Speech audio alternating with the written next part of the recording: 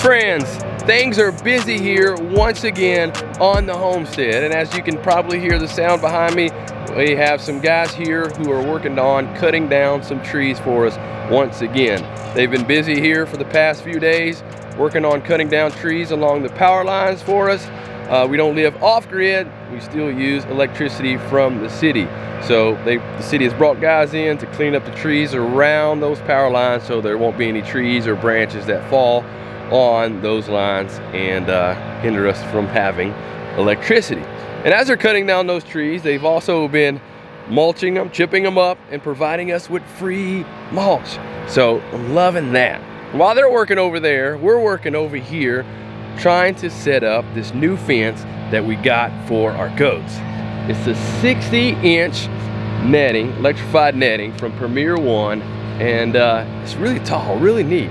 I'm not the super tall guy or anything. I'm actually, some may consider me to be vertically challenged, but you can see it goes oh, up over my head. So hopefully we can use this instead of what we've been using. We've been using a double layer here for our goats and it's been working fine. We were just having a single layer, they were jumping it. So ever since we've added this double layer of fencing, it's been working great. But we wanna see, I wanna see if I can go down to just one fence. So we're gonna see if this will work.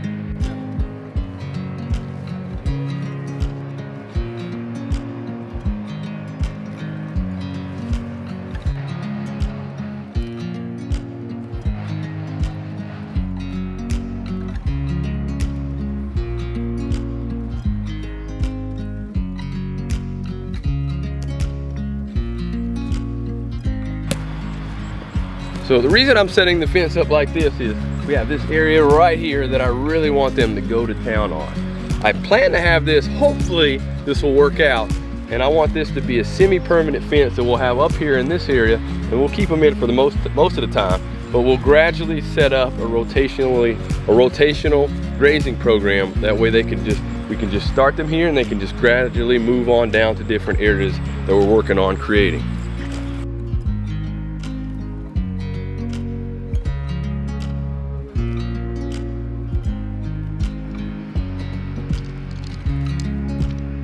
So we got our first roll set up, so let's go ahead and set up this next one. And I'm hoping that it will go the distance that we need it to go to.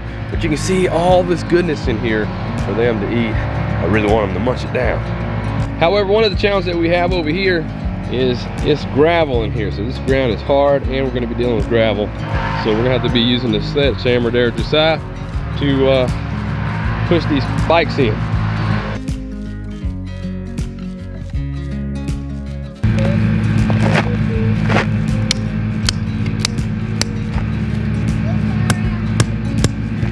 I really like the double spikes, but right now I'm not putting them all the way in the ground because one of the things that I've learned from using this netting is sometimes you have to make adjustments. So why put it all the way in the ground when you have to pull it out? That can be tough sometimes, especially in an area like this. So we're just coming through and then just hitting it about halfway in.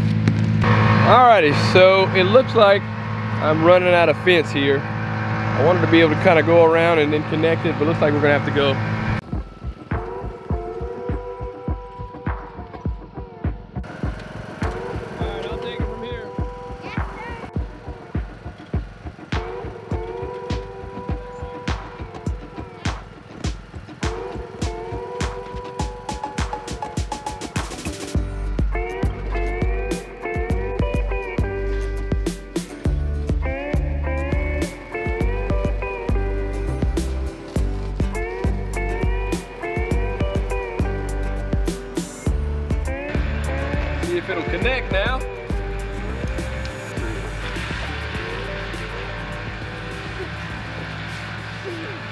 All right. Will it reach? A little short. Let's see here. Just a little short. Give him a little more slack, Josiah. Pull that corner out. We should reach. So we don't put it in all the way.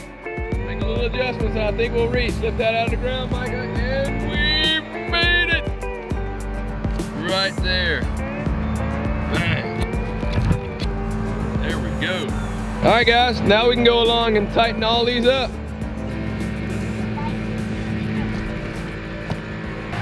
One thing I want to point out right here, just how when you're trying to pull it tight, grab the top as well as you kick it at the bottom.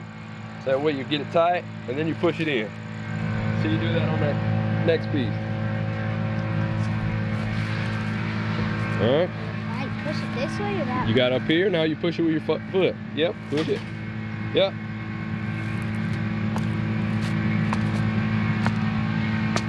There you go, good job. All right, fellas, look at there.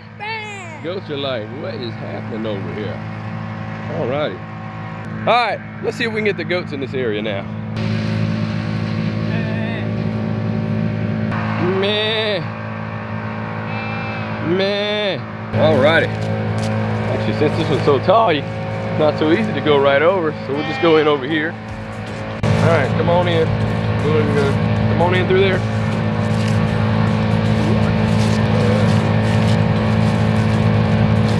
Stay right there, Micah.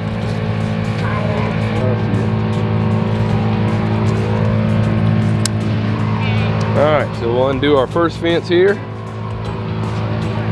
Then open it up for them. And we'll undo the other. All right, Josiah, so we're gonna make sure we're gonna kind of guide them that way.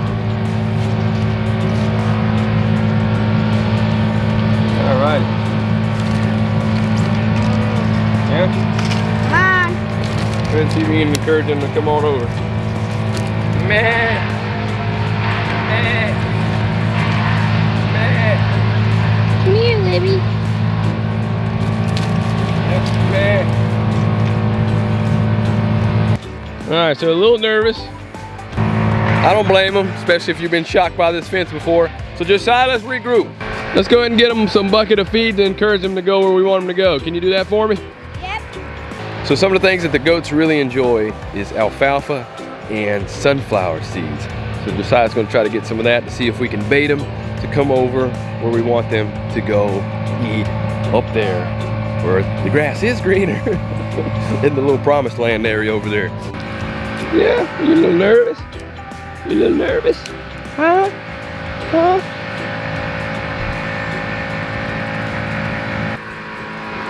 You looking kind of plump there, girl.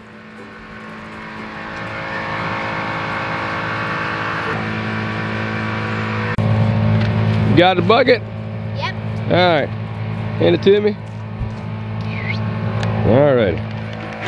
Here we go. Come on, guys. Girl. Come on. Follow me. Come on. Come on. Come on. Come on. Over here.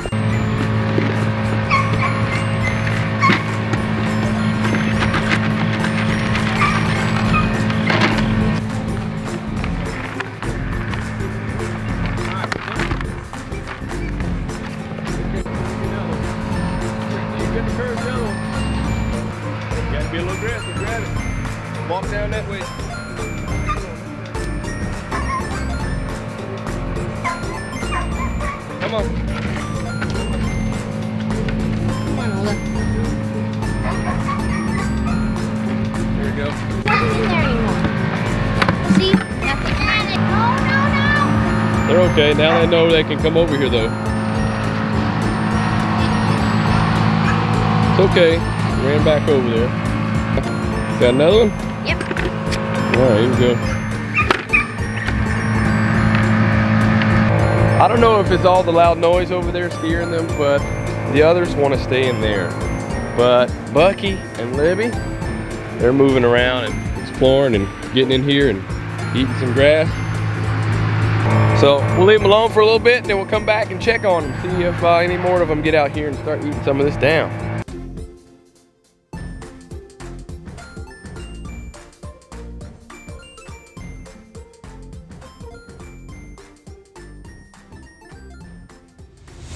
So a number of days have passed since we set up this fence for our goats. And during that time, the tree guys have still been going to town with cutting down trees. And I think they said they cut down about 80 to 100 trees so far. And they have been giving us so much mulch. We'll be good with mulch for a while. Uh, but we really need it because we're going to be using it in various different ways. So all those trees that cut down, they're not going to waste. We're going to be reusing them in various ways around here in the homestead. But in that area where they cut down all the trees around the power lines, it looks so much cleaner. So there should be way less likelihood of branches and trees falling on our power lines during the colder winter months or during storms. So we're really grateful of that. But the goats, since we set up this fence, at first only our male goat Bucky and Libby were wanting to come over here and eat. But since then, all the other goats have joined in and they're really just going to town, eating various things in here. And I grew all this up specifically for them, thinking that at some point in this year, I was gonna bring them in and now's the time and they are going to town. So we got Olga and Helga over here. They're really going to town, eating right there, as you can see. Then we have Bucky right here and Hazel. She's in there enjoying as well. And then Libby right here, which is our most adventurous goat. She, uh, she was one of the first to really get in here and start going to town. Also, I was recently away at the Homesteaders of America conference and I got this shirt there, which I really like. I got it from the Redmond Salt Company. Give more than you take. And I really like that phrase because it really encapsulates some of the things that philosophies that I really have been trying to think about and instill here on our homestead. It's not about giving the minimum to animals, to others, to our families, and then taking the maximum. Is no, I want I want every life, everything here on our homestead and in in my life, those around me, to have an abundant life, to have the best life possible. I want my goats to have the best life while they're here. And in return, we do get things like they help us out with clearing up things around the homestead, clearing the property, working with it and tending it and managing it. And then, then they also can provide us with meal and then at some point provide us with meat. But during that time, the whole time that they're here, I want for them to have the best life possible. And that's the same for our chickens, our ducks, and everything. I want to be able to give whatever I can give to them so they have a good life too and then we receive from that as well like a, it's just like a synergistic relationship that all benefit but trying to make sure that i'm not just giving the least amount possible to where they're just trying to and i'm just trying to take everything that i can from them and they just live a terrible life so no so there's been a nut that is related to a, just a number of different things that i have learned since I've been a homesteader and raising animals. There's a lot of lessons involved with raising animals. I didn't grow up raising animals. Uh, in fact, I was a pr pretty much like a, a, city boy, a suburban city boy, or uh, I had a dog. I did I did have a dog growing up, but I, I, didn't have a chance to really work with the land, work with growing things, work with livestock. And there's so many lessons to learn with that. And I just think back of some of the pictures of me back in that time where I, I like to dress nice at that time and now I still do but most of the time living out here you're just constantly you're getting dirty doing various projects and doing various things. So staying clean is is really really hard to do here uh, hard to do in with in this lifestyle.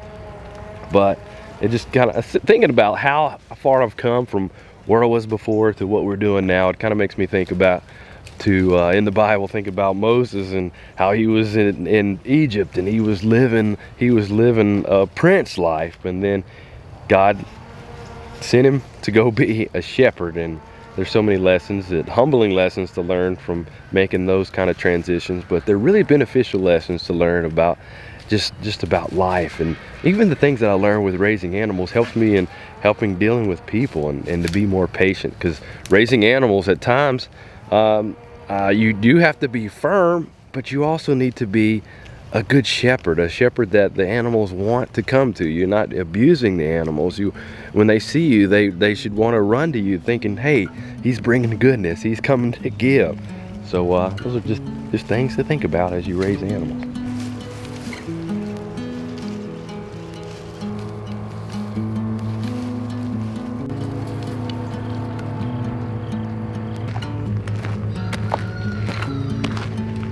And thinking more on giving more than you take, as well as what I'm trying to do here on our homestead and trying to provide and make sure that I give each thing here the best life possible.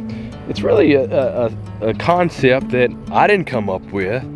Redmond didn't come up with it. It really is a, a biblically based principle. Now, the Bible says it's more blessed to give than to receive. There really is a deep sense of satisfaction that comes when I see the different animals on my homestead living a good life. Seeing the out over there is just beautiful. And then to see things like your, your children having a, a good, an abundant life. That's, that's special. That's nothing that I'm receiving necessarily from that, but it's me giving something and seeing them enjoy it. That's, that's special. Right down here at the bottom of our garden, where we're growing some arugula, some turnips, and some beets, even further beyond that, you see that smoke coming up right there? Well, I've had a fire going for like four to five days straight now. And the reason why is we've been clearing up along this fence line, clearing out all the different vines and trees that had grown up into the fence, just because it's been there for a number of years now.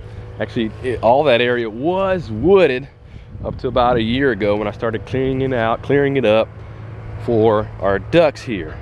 So I'm gonna continue working on that because I want to provide them, give them with a better area for them to be happier in. So we're gonna mulch all this for them and uh, may even plant some shrubs that we can keep here uh, just for them, for some shade, and we're gonna be working on some, some other things. But speaking of that, it's time to let the ducks out. Hey, Sayla. Hi. You're just in time. It's time to let the ducks out, isn't it? Yep. You know what? I'm getting kind of rusty with letting ducks out since you've been doing it for so long now. I'm the original duck man. I'm the duck girl.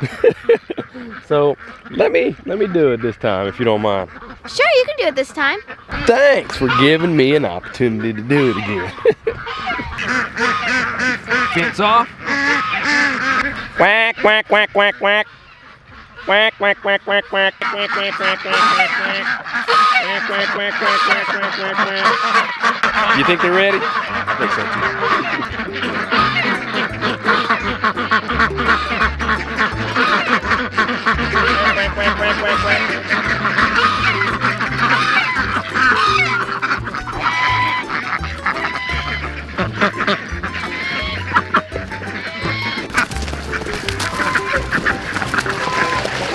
and with that, we give them access to the pond.